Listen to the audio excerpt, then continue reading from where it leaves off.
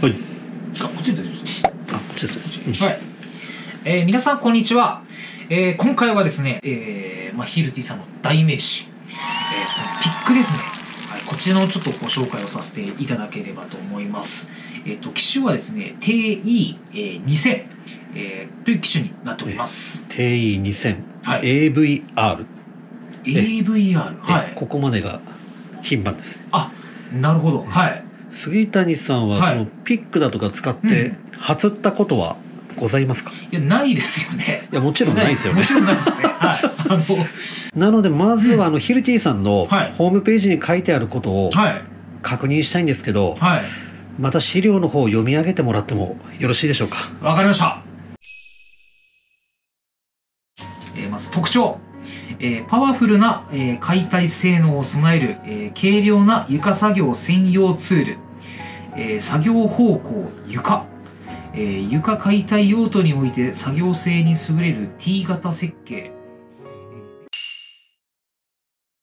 今読み上げてもらった中で特徴的だなと思ったのが、はい。AVR、AVR。ははい。あと着脱可能なサプライコード、サプライコード。はい。えあと囚人システムですね。3つですね。えはい。では順に見ていきましょうか。はい。はいい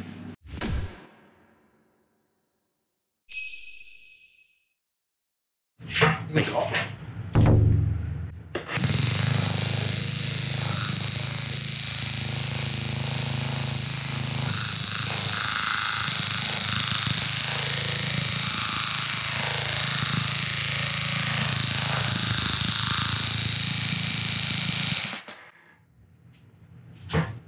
見てわかりましたか振動が全然ないのが伝わりましたか？ちょっとはい伝わんないですね。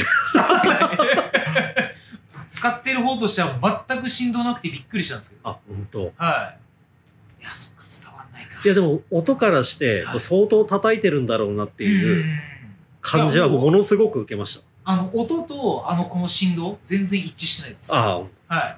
全然振動しないです。びっくりしました。よくエアブレーカーなんか見てたらもうとんでもなく跳ねて、跳ねるから、まあそれを手で必死にこう体使って押抑え込むみたいな、うん、イメージありますけど、全然そんな必要ないです。はい。で、そうエアブレーカーとかね、よはいく使ってる人は、あの、うん白老病って呼ばれる。ちょっと病気、あの、振動だとかがはい。原因で、はい手に痺れだとかね、うんうんうんそういう病気があるんですけうん。ど、なるほど。はいはい。全然無縁じゃないですか？本当に。うんうん。あの、使ってみていただかないとちょっとわかんない。伝わらないかもしれないですけど、はい。本当に、はい。あの全然振動来ないんで、はい。あの、そういった病気の、あの、まあ、懸念されている方でも、一度ちょっと試していただけたら、非常に助かります。ヒルティさんの AVR、AVR。はい。アクティブバイブレーションリダクションはい AVR。はい。っていう振動低減のうんうん。機能がついてるっていうことですね。はい。はい。そうですね。はい。ありがとうございます。はいちょっと誰かやってみてくれないですか？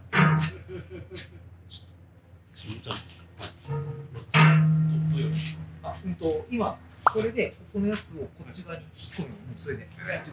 気をつけてください。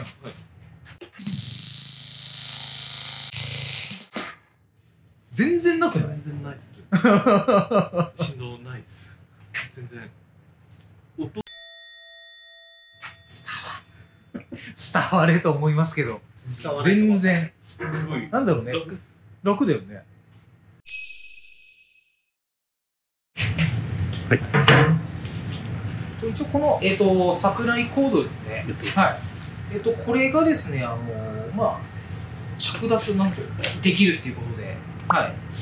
あの例えば現場でやっぱりどうしてもこういったあのコードを引っ張るとあの、まあ、ちょっと踏んづけてしまったとか断線してしまったとか、えっと、やっぱそういったケースっていうのが非常に多いんですけどあのこちらのヒプティさんの場合はここのサプライコードがあの要は着脱可能なので、はい。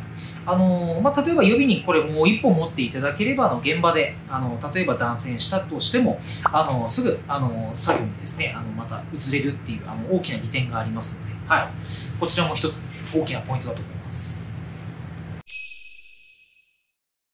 それではもう一つですね、えっと、こちらの、あの、まあ、追加の機能なんですけど、まあ、こちらの、えっと、囚人システム、えっと、DRS の B、えっと、こちらをですね、あの、まあ、要はここの先端に、えっと、まあ、取り付けて、えっと、こちらのホースですね。はい。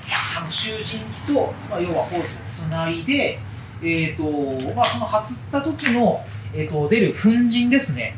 えっと、そちらを、えっとまあ、95%、えっと、要はカットしてくれるっていうあの機能があのありますので、あのまあ、ぜひこちら、もしお買い求めいただいたときは、あのこちらの、えっと、囚人システムと、えっと、こちらの囚人機ですね、もう、えっと、一緒にお買い求めになってはいかがでしょうか。